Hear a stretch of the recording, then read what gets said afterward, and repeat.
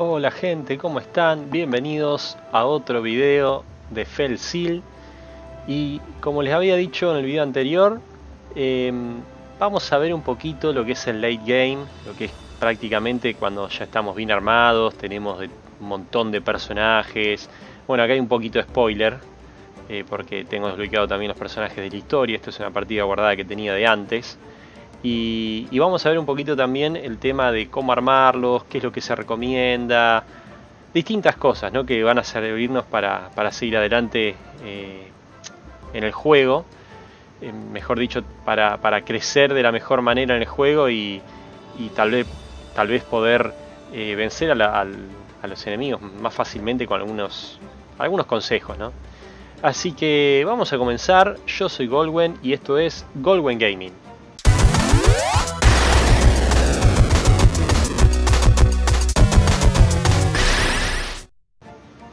Muy bien, y acá estamos. Em, esto es así. Em, miren, vamos a elegir cualquier personaje para que veamos primero eh, las habilidades. Por ejemplo, este es un mago clérigo. Para mí es una de las clases eh, que primero desbloqueás y bien leveleado es excelente porque tenés eh, poderes fantásticos. Acá tenemos. Bueno, el clérigo. Siempre necesitas por lo menos un clérigo en cada pelea. Yo por lo menos hago eso. Para que nos cure eh, a, los personajes que, están muy debilitados. Incluso a los que son un poquito más débiles. Siempre te conviene tener un clérigo. Que tenés curación, curación en masa, curación 2, que es mucho más potente que la 1, es obvio. Te puede revivir los personajes.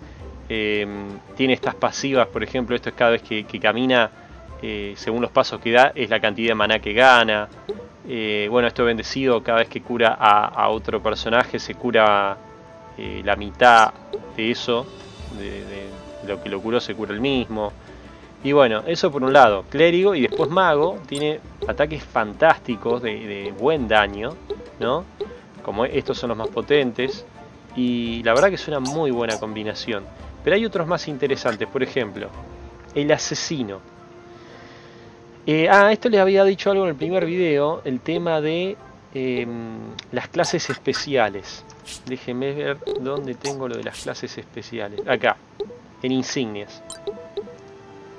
Acá vas a ir desbloqueando a lo largo de la historia, que esto se consigue jugando, no, no hay que hacer nada raro. Distintas insignias como estas que son clases únicas, clases grosas, todas son muy grosas. Tenés la del hombre lobo, la del vampiro, esta es eh, la de Lich. Esta es la del receptáculo, el Lord y la princesa. Y ahora vamos a ver un poquito de eso. Después estas son para las criaturas. ¿no? Que la verdad que no las uso mucho las criaturas. No me parecen tan copadas. Qué yo. Me gustan mucho más los personajes. Pero algo vamos a ver. Estas son clases especiales porque las criaturas tienen clases totalmente distintas y bueno, capaz ameritaría en un video aparte, pero hoy me voy a centrar más que nada en, los personajes en sí y en estas eh, insignias. Por ejemplo, acá teníamos uno que era el hombre lobo, asesino, y obviamente acá yo le puse la cabeza de hombre lobo, todo para, para, que pegue con la clase, pero no, hace falta. Eh, cada uno lo arma como quiere. Las habilidades están buenas, sobre todo la del asesino, porque acá está la famosa doble empuñadura que les había dicho en el video anterior, que esto nos permite llevar dos armas eh, normalmente, como sin, sin problema. O sea, en vez de tener un arma y un escudo o un arma sola, podemos tener dos armas chicas. Para tener dos armas de una mano, ¿no? Para tener dos armas de dos manos tenés que tener doble empuñadura y agarre fuerte, que es eh, de la clase mercenario. Acá tengo, bueno, justamente estas son eh, armas especiales que se ganan también jugando están buenísimas. Y tengo dos dagas, porque dan mucho ataque, pero también me mejoraba el crítico, ¿no ves? Tenemos 5% de crítico. Y fíjense que eh, tiene 72% de crítico. Está genial eso. Tal vez no tengo tanta vida como, este Lord tiene 807 vida, o Anadin que tiene 990. Eh, estos no son, pero Anadin mercenario. Bueno, acá ya hay un poquito spoiler porque cada uno tiene su clase especial. Y, pero no importa tanto la vida, importa más el daño acá. Entonces, una clase muy recomendada es asesino y lo combinan con lo que quieran. Siempre tengan en cuenta que si esto, acá en cambiar clase, ¿no? Por ejemplo, esto nos da ataque y velocidad. Y la clase secundaria, si bien puede ser cualquiera, pero tienen que tener en cuenta que lo que más van a tener va a ser ataque y velocidad. O sea, está bueno buscar, si le ponen asesino algo con magia, y no va a pegar tanto la parte de la magia. Entonces siempre te conviene algo que tenga ataque. Asesino vampiro está muy buena. Creo que tengo uno armado así también. O qué sé yo, asesino samurai si querés. Cualquier cosa que tenga ataque, asesino montarás. Eh, son, son buenas. Eh, después todo lo que tenga que ver con magia es genial. Eh, bueno, este receptáculo que también es una, una de las insignias. El mago de guerra para mí es una de las mejores clases del juego junto con la de asesino. De las mejores. Este tiene incluso dos masas, sacude un montón, también tiene muy buen crítico, también le da inteligencia, justamente la masa es para este tipo de, eh, de clase, porque el mago de guerra pega también con inteligencia, acá tenés que balancear el ataque y la inteligencia. Y está buenísimo porque, ¿dónde está acá la clase? El mago de guerra. Tiene poderes eh, muy copados. Por ejemplo, te pega con los dos mazazos y después te da una descarga de rayos. O sea, hace triple daño. Y eso es fantástico. Y el Lord, lo que tiene el Lord. ¿Dónde está el Lord? Eh, ¿Dónde está? Ah, no, este receptáculo. Mago de guerra receptáculo. Bueno, después vamos al Lord. Lo que tiene el receptáculo son poderes también eh, mágicos, ¿no? Pero tienen, hay algunos que tienen un rango mucho más grande que lo que es un mago común. Eh, son más raros también como pegan. El, área y todo, pero es, genial, es genial. Acá tenemos eh, bonificaciones, este está buenísimo, el personaje obtiene una bonificación de curación daño el turno después de usar un ataque normal, es fantástico. Y después tenemos cuerpo santificado que incrementa eh, el ataque en un 20%, incrementa ataque en un 20% de inteligencia, inteligencia en un 20% de ataque. O sea, es perfectamente para balancear ataque e inteligencia. Eso está fantástico. También una clase muy recomendada. Y vamos a la de Lord. Eh, ¿Dónde tengo acá? Acá. Bueno, este está equipado con un, escudo recopado, una buena espada, buena armadura. Pero lo más importante es la clase del Lord. Tenés las dos pasivas excelente. Equipar todo, o sea que podemos equipar cualquier arma. Eh, creo que también se aplica a las armaduras. Eh, sí, ahí acá arriba lo dice, que pavote. Acá lo dice. Puede equiparse cualquiera, cualquiera. Y mm, atravesar, si matamos a alguien, ¿no? Se activa un turno más, un turno adicional es excelente, excelente. Salvo que ese personaje tenga renacer. Si tiene renacer, no se activa esta bonificación, pero lo usas un montón. Tenés uno con poca vida, lo dejas que mate el Lord, entonces mata a ese y después va y tiene un turno para matar otro más. Es fantástico. Más o menos, eh, esas son las clases más recomendadas. Y después, ¿qué nos faltaba? El vampiro, creo que tenemos. Acá, tenemos un vampiro acá y creo que tenía otro. El asesino, el rufiano, ah, no, rufiano hombre lobo es este. Eh, bueno, vamos con, este vampiro. El vampiro tiene más que nada poderes mágicos, pero también hace algo de daño. De daño físico. Eh, ¿No ves? Acá tenemos un, daño de sangre que incluso te puede aplicar sangrado, que es fantástico. Bueno, esto forma murciélago es, eh, digamos, cómo se mueve. La verdad que está muy lindo cómo se mueve, que es como que se transforman en muchos vampiros y se va a otro lado, pero no, te da ninguna bonificación de nada, o sea que si querés lo, lo puedes sacar. Después tiene ataques muy copados como este abrazo nocturno que pega una bocha y puede infligir sueño. Eh, si, está afectado por sangrado. Este está buenísimo, pero claro, te pide muchísima maná. PM30 pide, que es, una bocha. Pero si lo lográs eh, eh, hacer saca un montón. Encanto para que un enemigo luche con nosotros por uno o dos turnos. La verdad que el vampiro es excelente.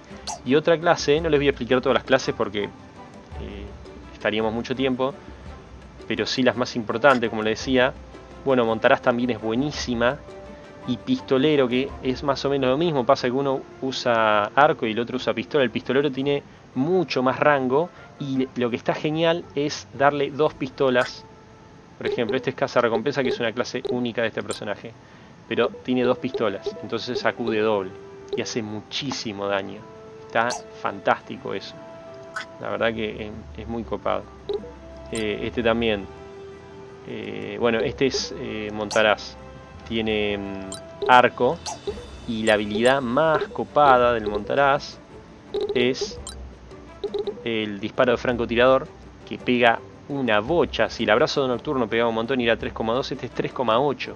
Lo único que te, implica, te inflige enraizado, o sea, no te vas a poder mover, creo que por dos turnos. Pero si tenés algo para contrarrestar eso, o un mago que, te saque eh, el enraizado, genial, o sea, no, no, no hay problema. Pero con esto vas a poder matar de una cuando seas grosso a, a muchos enemigos. Y bueno, básicamente es eso. Después las demás clases son más o menos sencillas. Ah, Lich, que era otra de las de eh, las insignias eh, especiales. El Lynch no me gusta tanto, sinceramente. Tiene poderes todos de oscuridad. Eh, que es la única clase que tiene poderes de oscuridad con otro personaje de la historia. Lo único malo que hay que tener en cuenta, esta pasiva en vez de consumirte tus habilidades PM, te consumen vida. Usa un 2% de tu vida en lugar de 1 de, PM. El bajón de esto es que te sacas vida. Yo nunca se la dejo, siempre se la saco, porque me va haciendo daño a mí. Si bien tenés que tener un mago al lado exclusivo para este, yo prefiero que gaste eh, maná en vez de vida. La verdad que no me parece copada. Si, si fuera que usás vida y saca más da y hace más daño, bueno, puede ser, pero no, no, ni siquiera es eso. Eh, la verdad que no, no me parece una habilidad copada. Esta siempre se la saco. O sea, nunca dejo Lich como clase principal, porque sí o sí eh, quedan, no, no puedes cambiar las pasivas, sino que se lo pongo como habilidad secundaria. Y, sobre todo los magos, siempre hay que tener, eh, va, no siempre, eso depende. El lanzamiento inteligente es para que si en el área que vas a sentir el poder hay un personaje, un compañero, no le hace daño. Yo por lo general la pongo porque hay habilidades que o hay enemigos que se te vienen al lado todo y querés hacerle daño y no podés porque justo está el tuyo y le, haces daño. Entonces está bueno tener tener esta, estabilidad de lanzamiento inteligente. Por lo demás, ah, bueno, Princesa también. Princesa es una de las mejores junto con Lord. Lord es solamente para los personajes hombres y Princesa es solamente para las mujeres. Princesa, al igual que Lord, tiene equipar todo. Y esto que es copado, lanzamiento doble. Podemos utilizar eh, dos hechizos en el mismo turno usando esto. Es fantástico, o sea, podemos curar a alguien y hacerle daño a otro, eh, o podemos hacer doble daño, curar dos veces. Esto de acelerar es darle un turno eh, a otro personaje que, vemos que necesitamos, yo, que, venga otro antes y le falta un montón, bueno, lo acelerás. Que está buenísimo eso. La verdad que son los dos más útiles. Lord y Princesa son los más difíciles de conseguir. Pero yo creo que son los más útiles. Bueno, todo esto son los, los bichos que puedes llegar a conseguir. Yo creo que no sé si tengo todos, tal vez me falte alguno, pero mm, no están, a mi parecer, a mi gusto, y esto es personal, no me parecen tan copados como si los personajes tienen sus habilidades aparte, sus poderes aparte, es todo distinto lo de ellos, pero me parece más copado, a mí por lo menos, los personajes.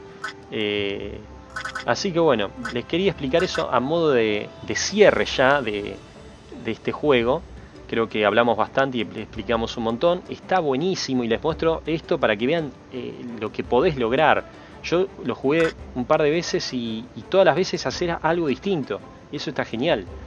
Eh, un equipo totalmente diferente, con clases mezcladas de otra manera, con los personajes estéticamente distintos. Está fantástico eso, la verdad que más allá de que la historia sea siempre la misma, es bastante rejugable. Así que bueno, nada, eso es todo por hoy. Espero que les haya gustado el video. Ya la próxima volveremos con otro juego, empezaremos otro juego. Tal vez nos mantengamos dentro de, por ahora, dentro del mismo estilo, de, este rol por turnos. Vamos a ver qué se viene en la próxima. Si les gustó el video, me apoyan mucho con un like, suscríbanse y bueno, saben que leo los comentarios, cualquier consulta eh, lo voy a estar leyendo y se los agradezco un montón. Nos estamos viendo la próxima, hasta luego.